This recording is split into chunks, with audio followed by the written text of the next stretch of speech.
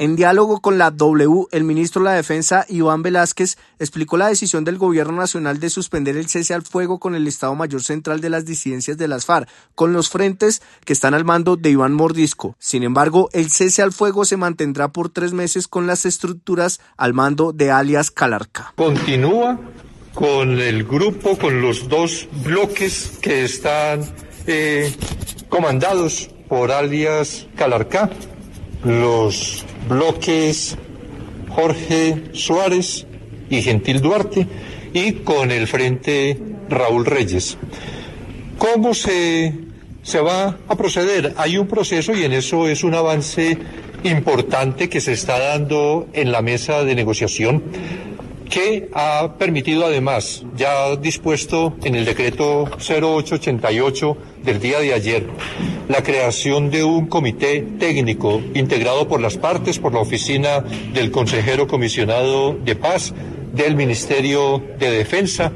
para la georreferenciación de esas organizaciones que están al mando de alias Calarcal, las organizaciones que están en la mesa de diálogo. Ministro, ¿eso cómo va a funcionar en la práctica? Porque usted sabe que hay eh, regiones en las que conviven estos distintos grupos armados ilegales. Eh, ¿Cómo en la práctica, en el terreno, se va a garantizar eh, pues el funcionamiento de ese cese al fuego que está previsto para unas organizaciones y para otras no? Precisamente por eso tenemos que avanzar rápidamente en la georreferenciación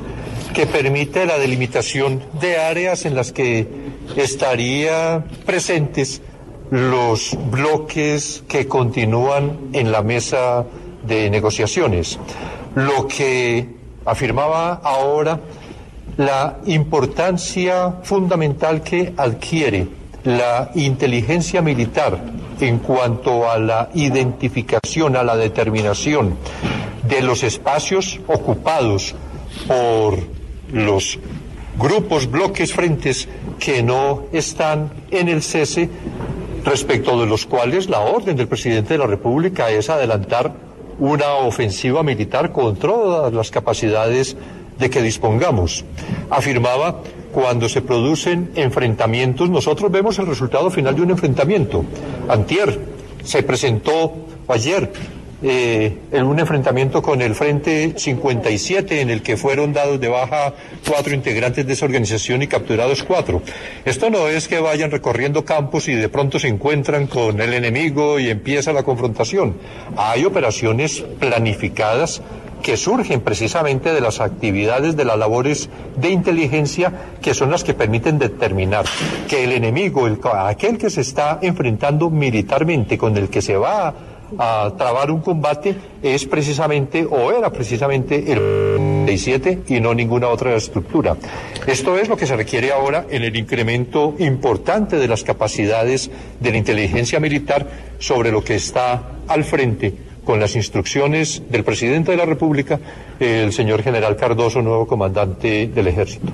Pero yo le insisto en la misma pregunta, ministro, porque eso no se vuelve una complicación operativa cuando hay ataques de última hora y hay que reaccionar inmediatamente y entonces hay que esperar a ver si este es de los que está en, en la negociación o no está en la negociación en áreas que, que, que, que comparten muchos de ellos y en las que muchas veces hay enfrentamientos entre grupos al margen de la ley. ¿No es eso una complicación operativa muy grande en la práctica, en el momento de tomar reacciones eh, de, de, instantes?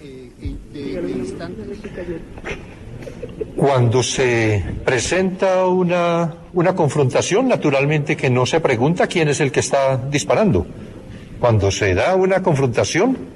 aún en el, la propia supervivencia de las tropas, naturalmente que cualquier ataque se responde, esté o no en cese, porque no significa que el cese sea dejarse matar, por el contrario.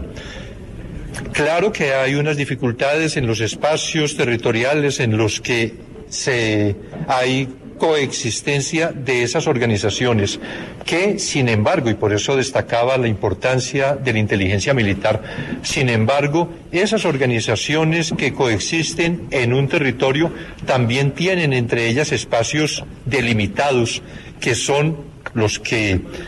buscan en un momento determinado cuando adelantan confrontaciones entre ellas, sabiendo cada una cuál es el espacio que está ocupando y el territorio que está en disputa.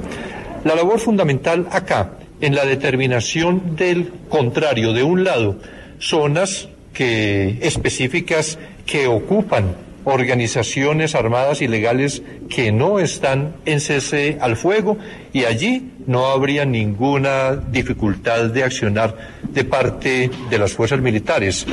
En las zonas en las que hay una concurrencia de actores, pues naturalmente la labor de la inteligencia militar tiene que ser de la mayor calidad.